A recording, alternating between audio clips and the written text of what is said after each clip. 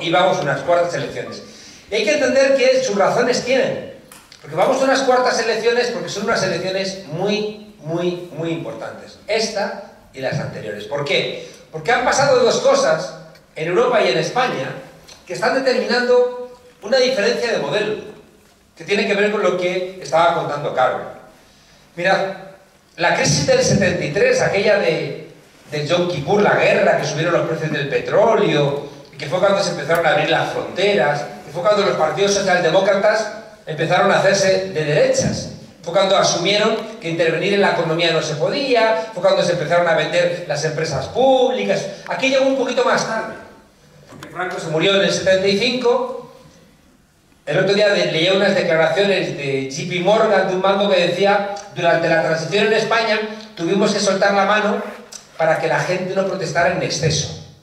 Es decir, que ellos eran conscientes que a la muerte de Franco había que introducir aquí un poquito de Estado social. Estabais en las calles.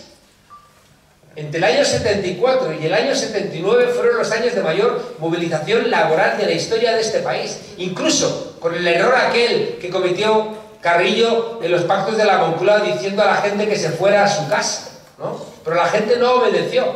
Se quedó en las calles empujando. Lo mejor de la transición, lo mejor de la Constitución lo mejor ahora mismo de nuestra democracia viene de aquellos años de presión que tuvieron el, máximo énfasis en los gobiernos de izquierda de los años del año 79. ¿Recordáis aquellas elecciones? Los gobiernos que se llamaban del cambio, ¿no? Vengo contando que es muy importante entender que la crisis aquella del 73, que es cuando deja a la izquierda, ya digo, eh, entregada a los postulados, eso que llamamos, empezamos a llamar neoliberalismo, no ha terminado nunca de solventarse. ¿Sabéis cuáles fueron las tres herramientas? ¿Qué hago? Que no me, que me vaya para acá para no caerme. O para que... Para que, para que me veas. Ah, para que me veas la luz. Así parezco Tom, así parezco Tom Cruise. Más guapo. Bueno, os decía que aquella crisis, aquella crisis se solventó en el mundo y en Europa con tres herramientas. La primera era para que pagasen la crisis las generaciones futuras. ¿Cómo? Recordáis aquello, la deuda, ¿no? Fue cuando empezaron los procesos de endeudamiento y demás. La segunda es para que pagasen los países del sur la crisis. Y también fue cuando se empezó a saquear, ¿no? Por ejemplo, América Latina incluso apoyaron dictaduras, porque claro, cuando la gente la quiere saquear, la gente se enfada. Y por eso se pusieron en marcha dictaduras y la más importante donde empezó todo el modelo fue en el 73, en Chile. ¿no? Donde quieren esta gente que hará el 11 de septiembre de nuestra memoria sea el 11 de septiembre de 2001, cuando los aviones aquellos entraron en las Torres Gemelas. No, nuestra memoria el 11 de septiembre es el golpe de Estado contra Salvador Allende, que no se equivoque, ¿no? Y la tercera herramienta que tuvieron que poner en marcha fue trasladar a la naturaleza. Fijaos, a las generaciones futuras, a los países del sur y a la naturaleza. Empezó un proceso de, eh, de extracción brutal de la naturaleza. ¿Qué ha ocurrido en todos estos años? ¿Os dais cuenta? Que han roto los tres juguetes. Han roto el juguete de la deuda, es que ni siquiera ya los bancos se fían de los partidos políticos que van a gobernar. Fijaos que aquí en España, estos caraduras, como no les han prestado dinero a los bancos, se lo han pedido al ICO, al Instituto de Crédito Oficial. Sánchez, que el Instituto de Crédito Oficial es para prestar dinero a los autónomos y a los pequeños y medianos empresarios, no a los partidos políticos, caraduras. Pero les. Los países del sur tampoco ya se dejan explotar. Se va a dejar China explotar. Ya no se deja. Ni la India, ni Rusia. ¿Y sabéis qué están intentando otra vez? Lograr poner de rodillas América Latina. Todo este jaleo que estamos viendo. Todos los ataques históricos contra Venezuela. La bronca que hay en Chile. En Chile se ha levantado la gente. Y están asesinándoles. Pero no lo vamos a ver en los telediarios. Si fuera Venezuela, ¡ay! Pero Chile, que se jodan. O también están intentando prepararle un golpe de Estado contra Evo Morales en Bolivia. Porque necesitan disciplinar al continente. Está en la cárcel Lula. El juez que lo metió en la cárcel, en el juicio dijo, no tenemos pruebas, pero tengo el convencimiento de que es culpable. Era un juez de segunda instancia. Le sacaba más de 20 puntos de distancia Lula, a Bolsonaro. Lo metió en la cárcel y Lula ha nombrado a Bolsonaro, eh, Lula, Bolsonaro ha nombrado al juez Moro ministro de Justicia y de Interior. Es decir, que no creáis que luego no buscan a, a quien ofrecerle recompensas. Bueno, ¿y entonces qué ocurre? Que la crisis esa del 73 se malsolventa y caemos otra vez, casi sin darnos cuenta, en la crisis de 2007. 2008, la que conocemos, que aquí nos llegó heredada. Una crisis por los sinvergüenzas inmobiliarios, que son los mismos. Sea, los mismos que la montaron en Estados Unidos, que hundieron Lehman Brothers, que hundieron todo el mercado inmobiliario, son los mismos. Sé que no entra en la cárcel, ha entrado uno. Porque le robó a los ricos. Si robas a los ricos, los ricos se enfadan. Si robas a, a los pobres, no hay absolutamente ningún tipo de problema.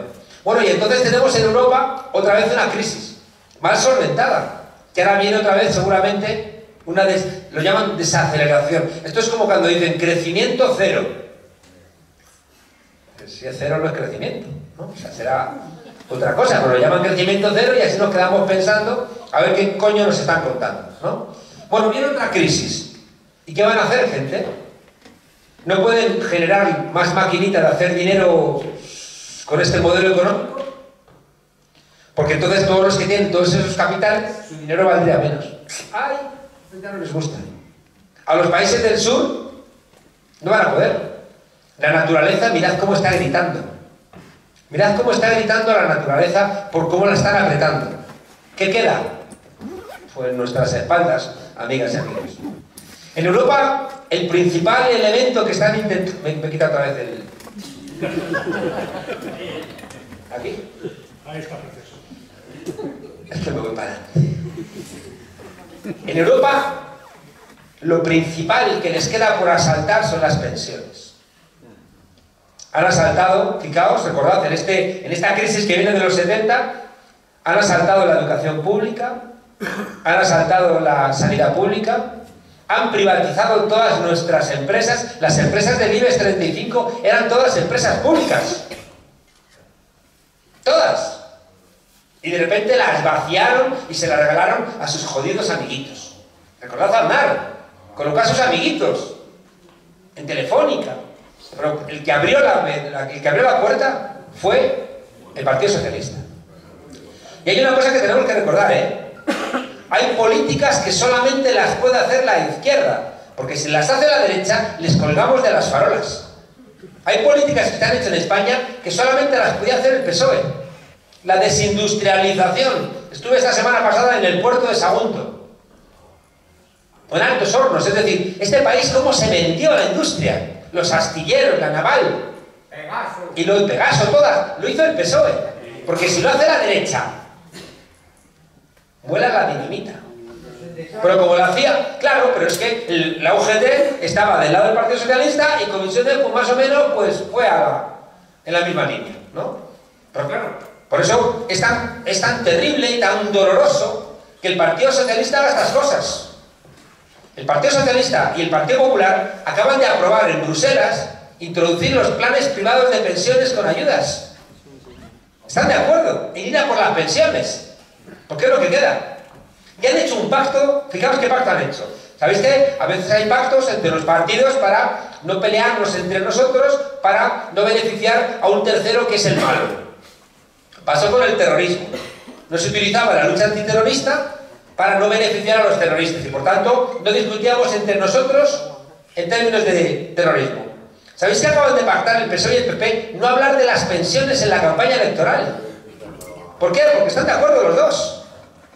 Y Adriana Lastra, una mujer que no ha trabajado nunca en nada, nada más que en el PSOE, que es que les pasa a todos estos. No han trabajado nunca en nada que no sea el Partido Socialista. No han hecho nada en la vida que no sea eso.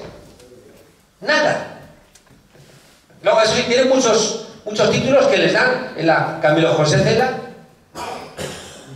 que es donde, de donde es doctor Pedro Sánchez, de la Camilo José Cela que es la universidad que hizo doctora a la consejera de Educación Concertada de Madrid, que sabéis que ha tenido que dimitir porque había plagiado su tesis. Una tesis de 113 páginas. Las tesis tienen no de 300. Una tesis de 113 páginas y la había copiado del rincón del vago. Es que si en, la, Universidad Complutense tenemos una regla que dice que si los alumnos copian del Rincón del Vago, estamos autorizados a golpearles. Del Rincón del Vago.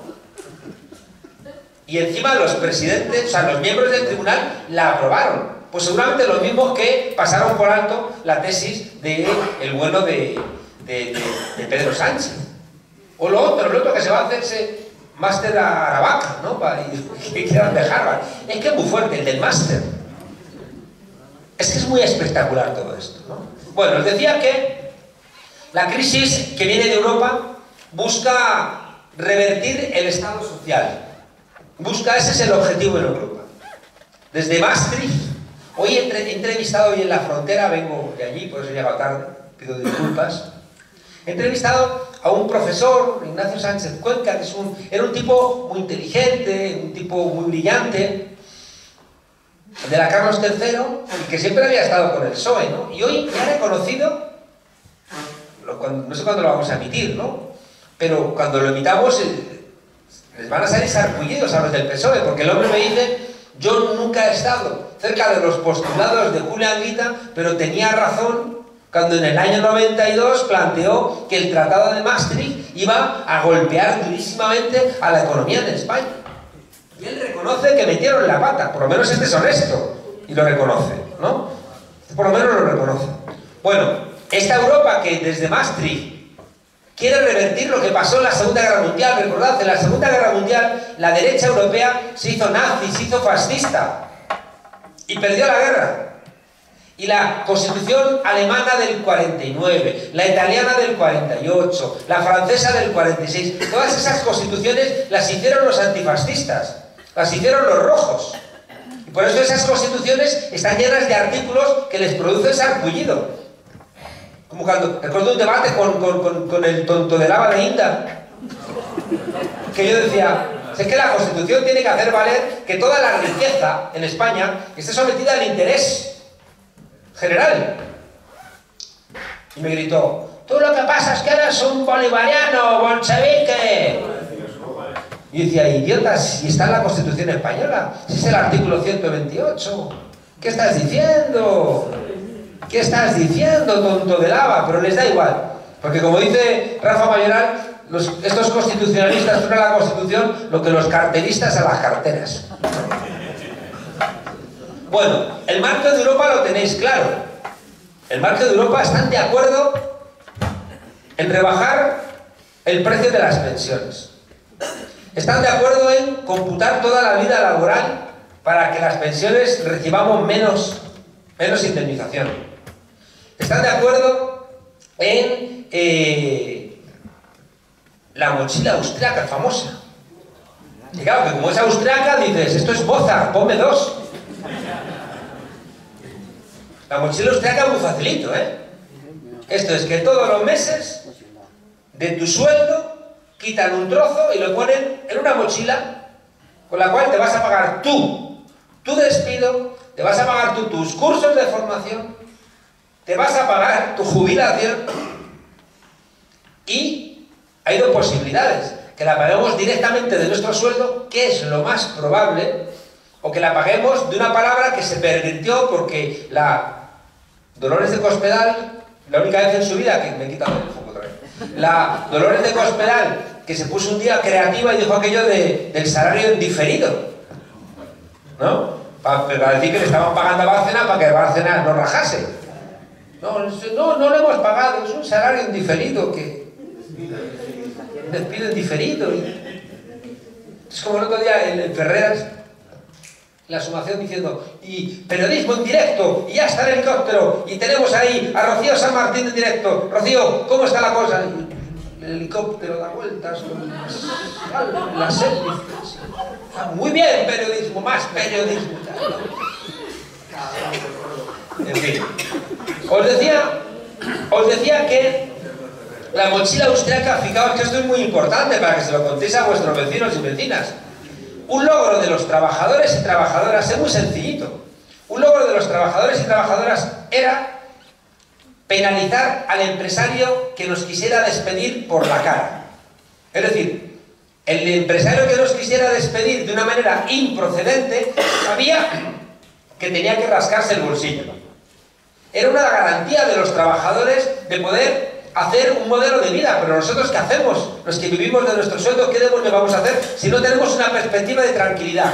Si no podemos prever, como dicen ahora, prever, que parece que ves más porque le ponen más es. No, es prever, con una vale. ¿Cómo vas a prever tu vida laboral, perdón, tu vida eh, familiar, tus, tus gastos, si te compras algo, si no tienes una estabilidad laboral? Y para tener estabilidad laboral, conseguimos los trabajadores, con muchas luchas, que el despido improcedente les costase dinero. El despido improcedente se termina con la mochila austriaca. Porque de repente, como te pagas tú ya el despido con tu dinero, al empresario le da igual, porque ya no le cuesta dinero despedir. Y además, y además, que no le cuesta dinero, desaparece la diferencia entre un contrato temporal y un contrato indefinido, porque los dos cuestan igual despedir. Y por tanto, fijaos, con la mochila austriaca, que le pones el adjetivo austriaco, y parece que es de, al lado de Liechtenstein, ¿no? Es dices, uy, es europea, ¿no? Todo lo que viene de Europa está muy bien, ¿no? Y al final, fijaos, logros de la Segunda Guerra Mundial, logros para, para, para dignificar el trabajo, desaparecen porque se han puesto de acuerdo en mantener un nivel de negocio sobre las espaldas de los trabajadores.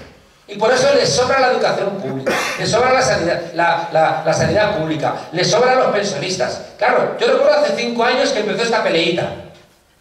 Y hace cinco años recuerdo que empezaron a presionar en el Pacto de Toledo en esa dirección. Y estaba en España una señora muy sinvergüenza, la Christine Lagarde,